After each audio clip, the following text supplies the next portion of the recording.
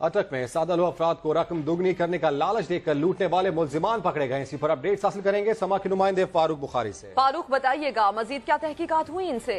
ये थाना city police अटक ने मल्ला अमान शरीफ के एक घर में छापा मारकर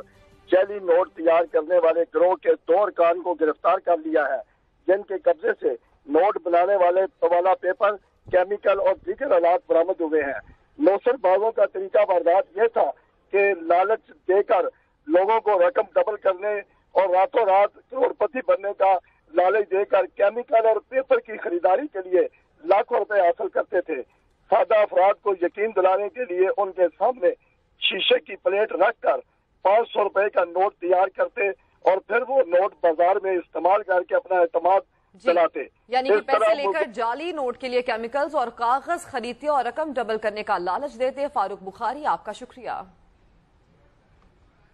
अब आपको खबर दें काबुल के फाइव स्टार होटल पर जंगजुओं का हमला रात